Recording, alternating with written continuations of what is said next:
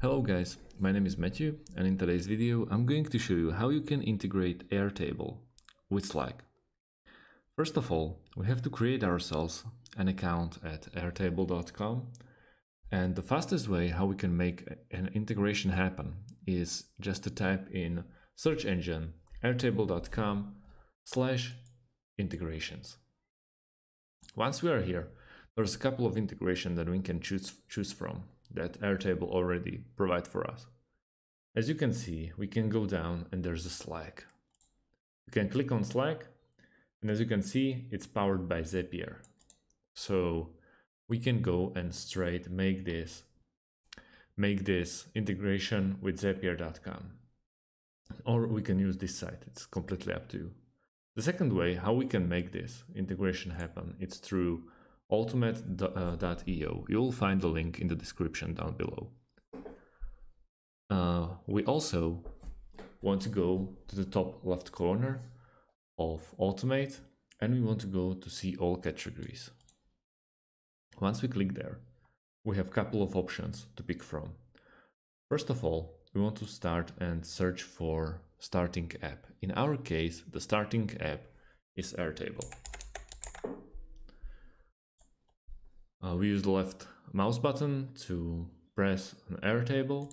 And the second one uh, will be Slack. We click on Slack, and as you can see, uh, Automate will provide for us some popular integrations, or we can create our own integration. Uh, there are two triggers uh, that we, uh, we want to start with. It's either new record or update a record. We are not interested in uh, this one because it starts with Slack and we want to start with Airtable. So let's go to new record and then uh, we have to pick an action.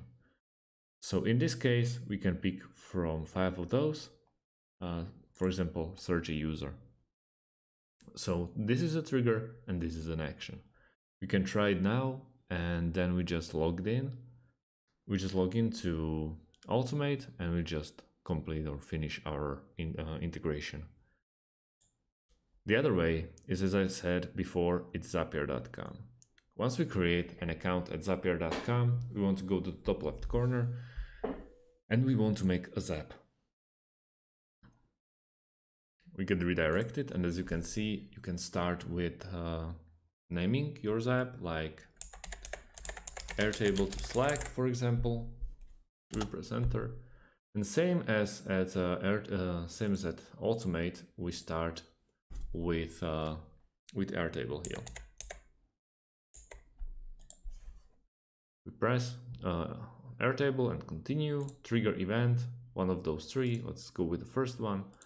Press continue. Now we have to choose an account that we created a couple of minutes ago. Let's go with Airtable. Continue. And now we just we just have to set up a trigger according uh, the researches or the workspace that we are using at Airtable. Let's go like this. We press continue. Now we can uh, test our trigger.